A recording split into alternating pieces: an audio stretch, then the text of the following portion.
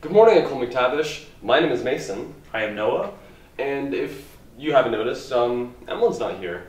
Well, Emlyn has decided to take a bit of a break from doing the news, but we have someone new. Would you, if you would like to come on the frame and introduce yourself? Hi, I'm Abigail, if you don't already know. Reminder that junior high and senior high students to stay on your respective sides during lunch. Cross country practice is happening after school on Monday, Tuesday, and Thursday. Uh, meet at 3:45 in the junior high gym, ready to run. Junior high student council meeting, Monday at lunch in room 1136 with Madame Ladan. French Club is happening on Wednesday at lunch in room 1605. Dungeons and Dragons Club is happening Thursday after school in room 1123. It will run until 5.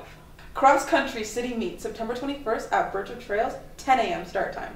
For students interested in the RAP program, we will have our first meeting on Tuesday, September 24th at lunch in room 1612. Students interested in helping out with the yearbook can come to an information meeting in room 1613 today at lunch.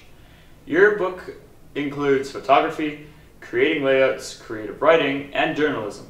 See Ms. McFarland or Ms. Munn if you have questions. Now here's a fun fact. Do you know that crocodiles can't stick their tongue out? That's all the news we have for today, McTavish. We'll see you next week.